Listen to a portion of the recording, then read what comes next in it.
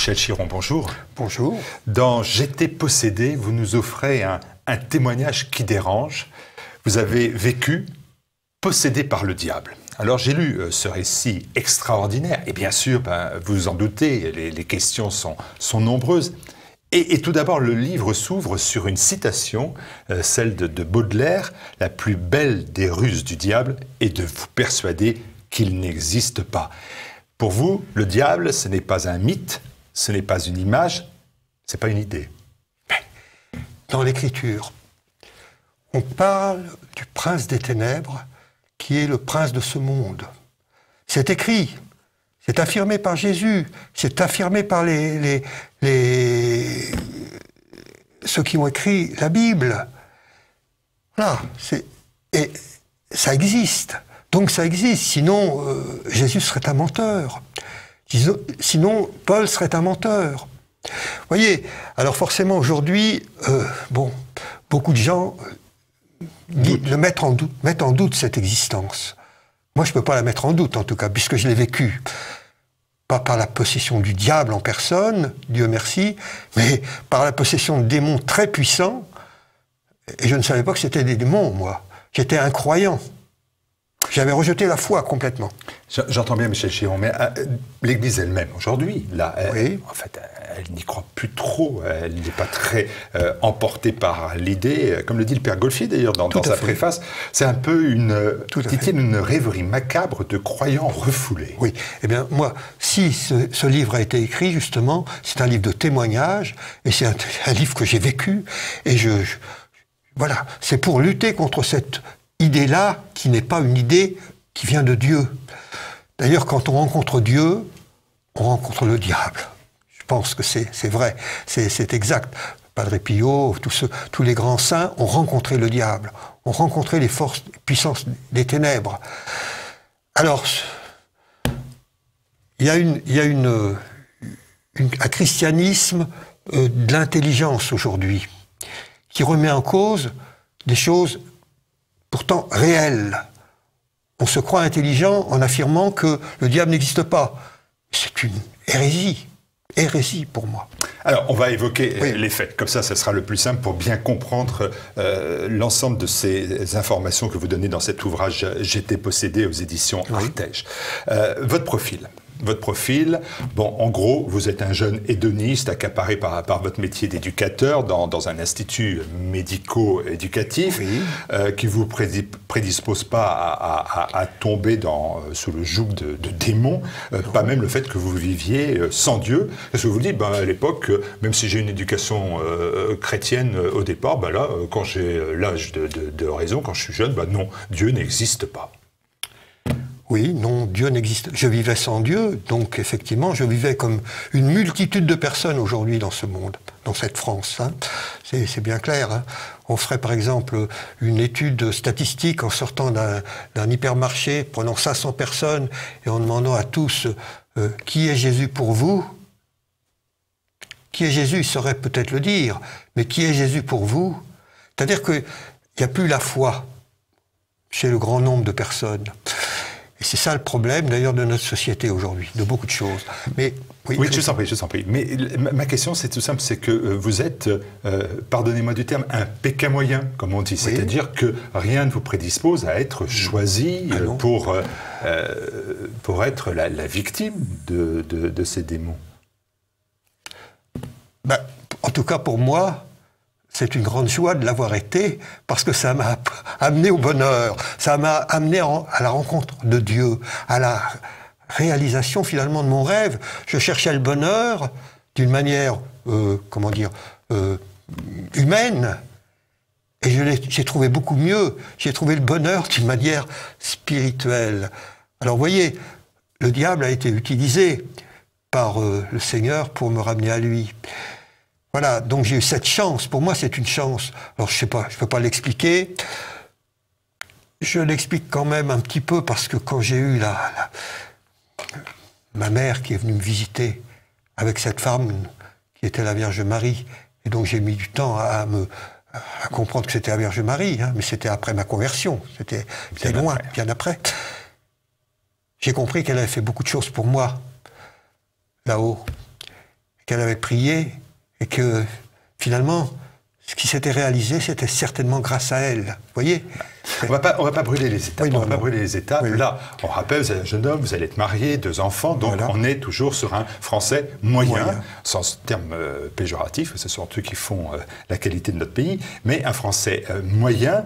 Et dans votre récit, il y a clairement une porte d'entrée, finalement, à l'emprise du diable. C'est l'occultisme, c'est le spiritisme. Ça, vous vous adonnez à, à cette discipline et elle va vous entraîner euh, vers un, vrai danger. J'avais une expérience longtemps avant avec mes collègues de travail où on s'amusait d'une manière ludique à faire tourner les tables. On a même fait tourner un psychiatre, une psychologue avec nous pour voir un petit peu leur réaction. Et qu'est-ce que vous en pensez, voyez Donc on avait fait ça, et puis j'avais bien vu que ça tournait, qu'il y avait quelque chose qui, qui, se passait. Hein et donc c'était réel. Et 15 ans après, quand j'ai eu ce problème de, de recherche, j'étais dans le malheur, j'étais dans le mal-être, hein, hein, et je me disais, bon, bah, je vais, je vais, je vais voir. Si vous avez un divorce, etc. Oui, divorce. Euh, et puis j'avais, je cherchais le, je cherchais l'amour finalement, et je ne le trouvais pas. Hein. Et donc j'ai fait appel à des esprits sans le savoir. Enfin, j'ai essayé le pendule à nouveau, parce que je me rappelle. Et je me dis peut-être que là, j'aurai des réponses. J'aurai une aide. Ah, vous avez des réponses hein. ben, J'ai eu les réponses autrement. Enfin, donc je me suis mis avec un pendule et puis des lettres de Scrabble. J'avais été acheter un pendule dans un petit magasin. Euh, de, sans doute, euh, je ne me rappelle plus lequel, mais enfin j'avais trouvé un pendule. On le trouve facilement, hein, même dans les grands magasins maintenant. Et, je me suis mis à, poser des questions, euh, voilà. Et puis je voyais que le pendule parlait, partait vraiment très vite, très vite, très vite. Et il s'arrêtait à, des lettres et ça me faisait des mots. Et j'étais là à écrire les mots. J'avais des, j'en écrivais une demi-page à chaque fois en quelques, en quelques temps, quoi. Puis je dis, mais qu'est-ce que qu'est-ce qu'il me raconte là, quoi? Voilà. J'étais intrigué, j'étais attaché, j'étais curieux. Et c'est comme ça que, voilà, pendant dix jours, ça a été comme ça, ça a été 15 jours à peu près. Et au bout d'un certain temps, ça m'a dit, maintenant, on va plus avoir besoin de, du pendule pour te parler, on va te parler directement. Et c'est là que, moi j'étais, complètement abasourdi par cette, cette ce qui, m'annonçait. Et voilà que j'entends des voix intérieures à moi, et ils ont une pédagogie ils m'ont montré qu'ils pouvaient me parler par la poitrine, par la gorge et par la tête. Tel soir, un soir, et, d'un seul coup, là qu'ils me disent, ils me disent, c'est le diable qui te parle.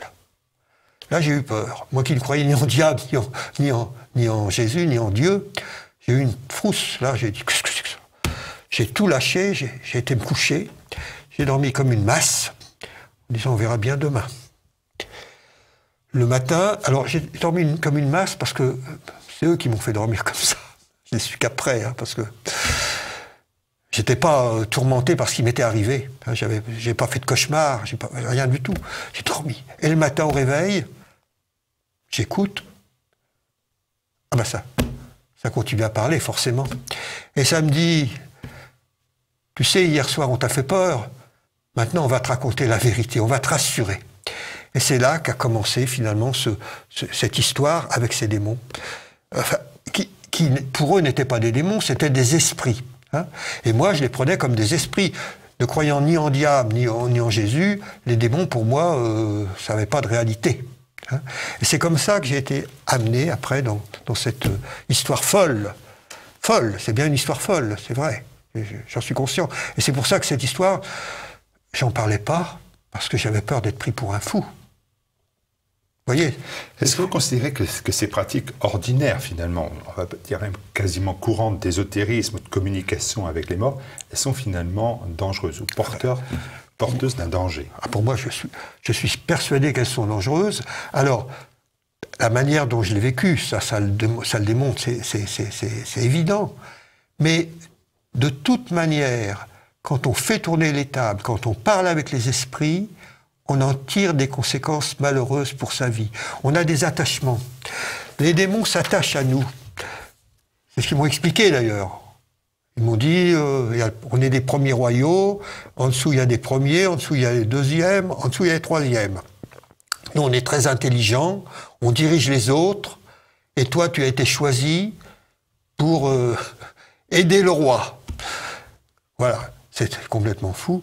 Aider le roi pour que l'humanité s'attache à lui, s'attache au diable, en fin de compte. Vous voyez, rendez compte.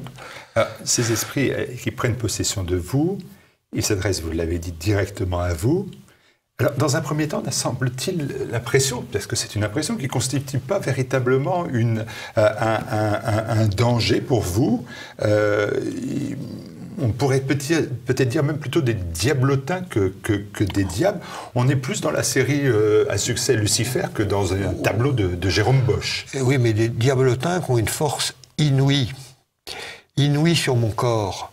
C'était plus que des diablotins. Bon, alors ça, c'est l'image, forcément. J'ai l'impression qu'à un moment donné, vous vous jaugez, que vous, les, euh, ah, que vous en jouez même un peu pour voir jusqu'à où ça va. Il vous demande de boire de l'eau. Ben, vous dites pas non, alors, vous essayez de voir alors, où ça va donner. Expliqué, il m'avait expliqué, il m'avait expliqué. Oui, j'étais curieux, mais il m'avait expliqué que j'allais avoir des potentialités. Des potentialités, c'est-à-dire des, des, pouvoirs. Ils appelaient ça potentialité, mais des pouvoirs. Euh, euh, voilà un peu comme les, leurs, et que pour cela, j'avais des épreuves à passer et j'avais à boire de l'eau. Ils m'ont fait boire de l'eau, alors d'une manière inouïe. Hein, Jusqu'à 15 litres par jour Jusqu'à 15 litres par jour à la fin. Et j'urinais beaucoup, mais c'était réglé. Ils avaient pouvoir sur mon corps, sur ma vessie, sur tout cela. Ils ont eu pouvoir sur, sur moi dans tous les domaines. Le goût, manger, le, les, doigts, enfin tout, un tas de choses. J'ai écrit tout ça dans le livre, donc il faut lire le livre. Je ne vais pas répéter cela parce que c'est inouï. C'est inouï, je, confirme pour l'avoir lu. Alors, euh, c'est vrai que les épreuves peuvent, peuvent sembler parfois un peu, un peu loufoques, mais elles sont quand même destinées toutes finalement à, vous détruire moralement, mais aussi même physiquement. Ben, physiquement, oui, parce que ça m'a fait maigrir, entre autres, hein, euh, de boire beaucoup d'eau. Mais enfin, changer d'attitude au travail, vous êtes euh, ben, alors changer accessible. Ben, c'est parce que effectivement, j'étais je vivais avec ce monde-là et je, ne pouvais plus, euh, comment dire, j'avais beaucoup de mal à, rentrer en communication avec mes collègues de travail parce que bon, c'était, je, je, fuyais un peu, quoi. C'était, c'était, c'était évident. vivant cela, je pouvais pas en parler. Puis bon, euh, j'étais dans les, voilà. Donc j'étais coupé du monde. Vous pouvez pas en parler à, des proches, à vos enfants, à votre ex-épouse. C'était tellement, tellement étonnant. Et puis, il m'aurait dit, bon, il faut que tu ailles voir un psychiatre, il faut que tu ailles voir... Voilà, il, n'avait pas la, capacité de comprendre euh, le combat spirituel, la spiritualité. Hein, le combat spirituel, parce que c'est ça. Nous, on est, on est voués. Mais alors, c'est quand on connaît là, quand on connaît Jésus qu'on fait ça. Hein, je veux dire, c'est, ça. Mais là, c'était moi, j'étais euh, un, prisonnier, prisonnier. Ils avaient accès à toutes mes pensées. Vous dites à un moment, euh, peut-être que les esprits ne souhaitaient pas mieux que mon suicide, au fond. Tout à fait. vous avez pensé au suicide? J'ai pas pensé au suicide. J'ai, j'ai, jamais pensé au suicide parce que je suis pas suicidaire. Mais à la fin, c'est-à-dire euh, neuf mois. Ça dure neuf, mois. et ça a dû être vers le mois de novembre ou, décembre. Enfin, je, suis allé trois fois quand même auprès d'une ligne de chemin de fer. Mais c'était aussi pour les jauger, pour voir leur réaction, parce que ils me parlaient en permanence et ils m'annonçaient le bonheur Hein, il m'annonçait tout, un tas de choses fausses, mais bon. Mais et dès que j'arrivais près du train, enfin de, la ligne de chemin de fer, calme absolu, plus rien, plus rien. Ils attendaient, ils attendaient effectivement que ça se produise. Mais moi, je je le faisais pas parce que bon, euh, j'avais la saine réaction à ce moment-là de ne pas le faire. Et le dernier C'est le, 31 janvier, là, le 31 janvier, le 1er, le 31 décembre et le 1er janvier, où là, alors j'ai vécu l'enfer, j'étais dans mon lit, alors que tout le monde était en fête, normalement, ce jour-là. Moi, je vivais. Et je pensais, mais je vais pas encore vivre ça pendant une année. C'était terrible. On, entamait une année, il m'avait dit, mais tu seras libéré, tu vas voir, ça va, ça va bien se produire. Et puis là, ça continuait de plus belle. Et là, j'ai dit, j'avais passé la, journée au lit, et d'un coup, je me suis levé. J'ai dit, allez, je, passe à l'acte, je me suicide. Là, j'ai été remplir de l'eau, euh, l'eau de javel, un verre, mais de l'eau de javel pure, pas sans eau. Hein. J'ai mis de, l'alcool à brûler sur mon, sur mon gaz, et puis j'ai et là, j'ai eu la, saine réaction. La saine réaction de dire, mais tes enfants, mes enfants, tu peux pas leur écrire, leur expliquer ça, tu peux pas leur écrire. Et puis, mes parents, je pensais à mes parents qui étaient décédés aussi. Je dis, mais ils t'ont jamais conduit à cela. Et tu les retrouveras pas, même s'ils sont décédés. Et j'ai dit non. J'ai dit non. Je ne me suiciderai pas.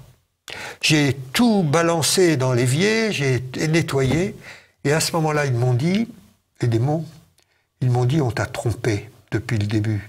Dieu existe. C'est eux qui l'ont dit. J'avais pensé à ce moment-là avant, si je vais me mettre en arrêt maladie, je vais euh, voir un médecin et j'irai voir un prêtre. J'avais pensé ça. Je sais pas pourquoi, mais enfin, j'avais pas la foi, mais je, voyais, c'était une porte de sortie pour moi, certainement, d'aller parler avec un prêtre, hein, pour lui expliquer ce qui m'était arrivé. Et pourtant, je n'avais pas la foi. Et donc, après cette décision, ils m'ont annoncé que Dieu existait. Pour moi, ça m'a ça m'a pas plu du tout Dieu existe. Juste une précision, parce que vous l'avez dit tout à l'heure, l'instant même. Euh, mais à ce moment précis de cet entretien, je pense que certains euh, téléspectateurs peuvent se montrer incrédules. Euh, tous vos interlocuteurs jugent, pendant ces années d'ailleurs, que vous êtes un homme simple, équilibré, intelligent. Est-ce que l'on peut écarter la piste de, troubles, de troubles mentaux Vous-même, hein, d'ailleurs, vous dites, non, mon cas n'avait rien à voir avec une maladie mentale, mon problème pouvait s'apparenter à une forme de, de schizophrénie. Est-ce que vous vous êtes posé cette question-là? En me disant je vais aller voir un médecin Est-ce que vous vous êtes dit est-ce que je n'ai pas tout simplement une maladie? Non. pas que je ne vis pas ce que je dis, oui. mais c'est une invention de mon cerveau. Absolument. Une invention de mon cerveau qui m'avait, par exemple, euh, euh, mes os, j'avais le feu dans les doigts et, mes os devenaient mous une invention de mon cerveau qui, euh, qui, qui, par exemple, quand ils m'ont montré le pouvoir sur mes collègues à table, ils me disent maintenant, on va les faire parler très fort. On était en train de manger tous. Hein. Et puis les collègues, vous savez, quand on parle euh, à table, euh, bon, il y a des discussions. Et puis, euh, je voyais mes collègues qui se mettaient à parler très fort. Maintenant, ils me disaient, on va les faire taire. Et ça s'arrêtait. Ils m'ont fait ça trois fois. Vous voyez, il y a des choses. C'était pas que de la pensée, loin de là. C'était pas que de l'imaginaire. C'était du réel que je vivais. Hein, quand ils m'ont fait oublier mon code de, banque, alors que je, sortais, il m'avait fait, vivre une, épreuve terrible. Je ne pouvais pas manger euh, ce qui était dur parce que ça me faisait saigner la bouche. J'étais condamné à manger de la purée ou des choses comme ça, ou des, des choses molles, parce que, et ça pendant plus d'une semaine. C'était pas une invention psychologique, c'était une puissance d'esprit démoniaque qui envahissait ma vie et qui montrait d'ailleurs qu'ils avaient pouvoir sur le monde, sur les autres, sur les, hommes. Et, et, donc on est... Bon, je n'ai plus peur du diable, hein, je veux dire franchement, j'ai été vacciné. Parce que, parce que, parce qu'il y a le moment de ce qu'on pourrait appeler la, libération, à, la résistance, puis ensuite la libération.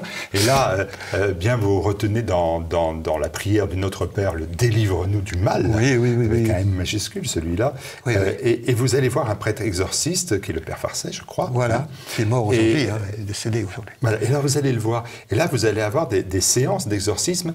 Et là encore, euh, on, se dit, est-ce que là aussi on a des images très précises On se dit voilà, vous êtes attaché à un livre noté, euh, éructant, bavant. Enfin, j'en rajoute peut-être un peu. Alors ça, c'est pour les personnes qui sont prisonnières du le corps et esprit.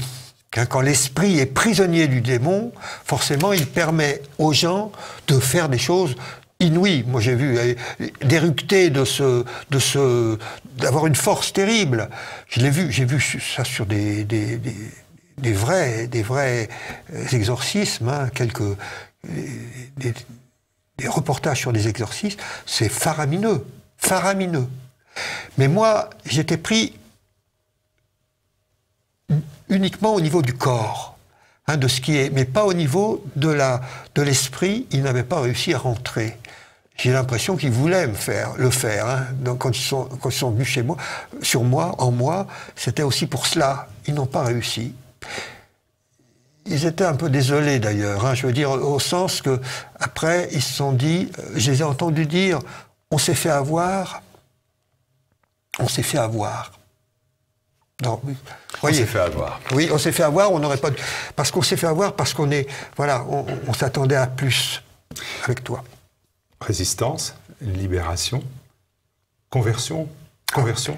Aujourd'hui, cette conversion, elle est, totale par la prière, alors, alors, moi, dès ma conversion, dès mon, dès, mon, dès mon retour à la foi, la prière est rentrée en moi, alors que je me disais, mais ça va être terrible de prier. J'avais une image de la prière de, de l'ancien, enfin de, ma première vie où on priait. Une obligation. Comment? Comme une obligation. Oui, puis, puis, puis, puis ça passait comme ça. Comme une... Mais là, ma grande surprise, ça coulait comme une source d'eau vive en moi. Je ne pouvais plus m'arrêter de prier. Et, et, Je vous salue Marie et le Notre Père. Et après, euh, alors, mais je ne m'en lassais pas. Et c'était une prière, toujours, moi, je priais pour les autres. Je priais pas pour moi. J'avais tout, j'avais trouvé Jésus, j'avais trouvé la porte de sortie. Mais je priais beaucoup pour les autres, et je prie toujours pour les autres, l'intercession. Ces voix s'arrêtent. Alors ces voix sont diminuées, les, grosses, les grosses voix, les grosses voix, les voix intelligentes ont disparu, ont disparu, disparu, heureusement, je veux dire. Et puis après, il y avait ces, voix non intelligentes, qui étaient comme des, des voix de toon, de dessins animés, mais bon, alors, euh, c'était, c'était, au début, ça a été, c'était puissant, parce qu'il y en avait beaucoup, beaucoup, beaucoup, beaucoup. C'était une entité puissante, hein, je veux dire. Et donc, il y a eu, comme dit, comme on pourrait dire, petit à petit, ça s'est dégradé. Et c'est ce que je demandais, moi, dans la prière au Seigneur. Je disais, pas le il faut pas les faire sortir pour qu'ils aillent faire leur mal ailleurs. Je veux les, veux qu'ils soient euh, détruits au sens euh, décomposés. Hein. Et ça s'est décomposé petit à petit, tout petit à petit. Au départ, ils avaient pouvoir sur moi, ils parlaient quand ils voulaient. Après, c'était moi qui avais pouvoir sur eux, au sens que je leur ouvrais la porte pour savoir s'ils étaient encore là. ils sont encore là? Non sont partis. Alors, au sens, au sens où ils sont, comment dire, où je les ai. Alors, faut bien savoir que les démons, on en a tous. Alors, les gros démons que j'ai eus et, la puissance euh, infernale que j'ai eue a disparu. Mais je pense que le diable, il s'intéresse encore à moi et il n'est pas absent dans, ma vie comme dans la vie de tout le monde. vous avez ouvert un blog et vous avez découvert aussi qu'il y avait de très nombreux témoignages de personnes ayant vécu d'ailleurs des phénomènes identiques. Vous évoquez l'exemple, alors qui dépasse, moi je veux dire, l'entendement d'un garçon de seulement 10 ans qui est, euh, lui, aussi en proie aux, forces démoniaques. Euh, c'est ces gens que vous leur dites-vous Qu'il y a un chemin une voie, je prie pour espérance? je prie pour eux. Puis je leur dis effectivement, je leur donne des conseils. Je viens d'avoir pendant le mois de juillet et le mois d'août, là, trois personnes qui m'ont qui m'ont contacté. Une personne qui avait fait alliance avec le diable, carrément, avec son sang, etc. Et pour pour pour avoir de l'amour euh, avec une personne, hein, c'est complètement délirant aussi. Et ça a été terrible ce qu'elle a vécu. Elle m'a écrit ça, euh, j'ai un truc, et elle me demandait alors. On s'est contacté, je lui ai répondu aussi. Une autre personne qui avait fait l'écriture automatique, automatique. Vous savez, l'écriture automatique, c'est une écriture qui, est donnée comme ça par les démons. Hein. Et qui, aussi avait des voix après, et qui m'a demandé, on s'est téléphoné là avec elle, et elle m'a demandé secours. Comment? Et, j'en ai une autre troisième, alors ça c'est autre chose, le, compagnon, et ça c'est tout récent, hein, le compagnon d'une femme qui a abandonné son travail pour avoir des pratiques ésotériques. C'est-à-dire avec, euh, euh, voilà, elle fait de la, la, du pendule, oui, de, oui, et, c'est pour guérir, c'est pour aider les gens. Donc elle veut gagner, elle veut gagner sa vie. Et lui, il me demandait des conseils, il me disait mais comment je peux faire pour, pour la pour qu'elle ne fasse pas cela. Il avait essayé tous les moyens. Il était démuni. Elle l'avait abandonné. Et voilà. Donc, vous voyez, c'est, il y a, forcément, il y a plein de gens qui, qui, qui se lancent dans des, dans des aventures périlleuses, quoi, périlleuses avec les démons, sans le savoir, sans savoir que euh, c'est très dangereux. il faut avoir une longue cuillère. Voilà. J'étais possédé. Merci beaucoup Michel Chiron d'être venu témoigner. Je pense que c'est un témoignage euh, passionnant et il faut eh ben, lire bien évidemment l'ensemble de, ces témoignages dans cet ouvrage publié aux éditions Artege. Euh, merci euh, d'être venu en parler si librement. Eh bien, merci à vous. Merci.